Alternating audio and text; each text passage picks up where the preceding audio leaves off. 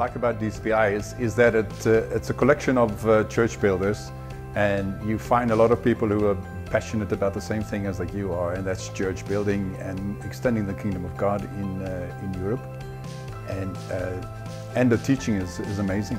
It's, it's, a, it's a powerful tool to, uh, to help uh, to build churches. I've been a church builder for years, but this course has put it all in in a very good order so that I've been able to, um, to teach it to other people.